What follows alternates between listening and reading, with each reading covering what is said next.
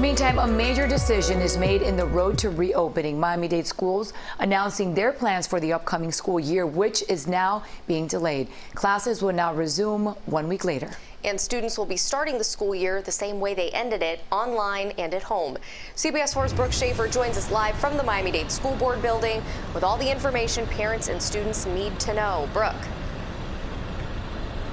Hey ladies, good morning. The superintendent for Miami-Dade County Public Schools has maintained he didn't think it would be appropriate to open schools for in-person learning amid high coronavirus case numbers.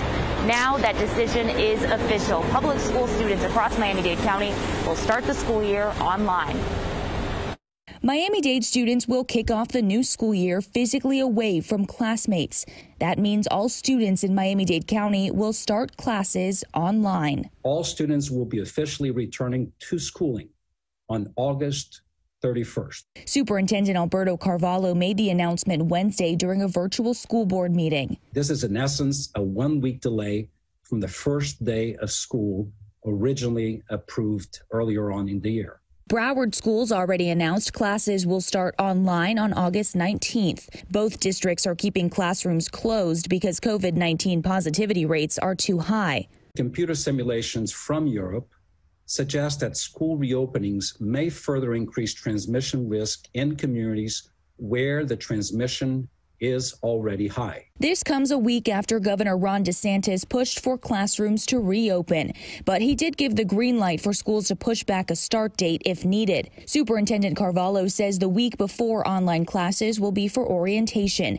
He said classes in Miami-Dade County may reopen in early October if virus rates are low. We have abandoned the hybrid models for several reasons. Miami Dade Public Schools will instead start the school year in three stages.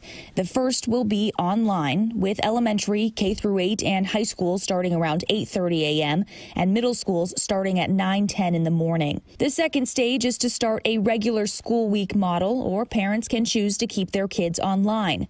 The third stage will be to have everyone in class, but online learning won't disappear. Those families who prefer to have their children remain in that model for the remainder of the school year. And no doubt families will. The district says buses may look different. They're planning on having one student per row once classrooms do reopen.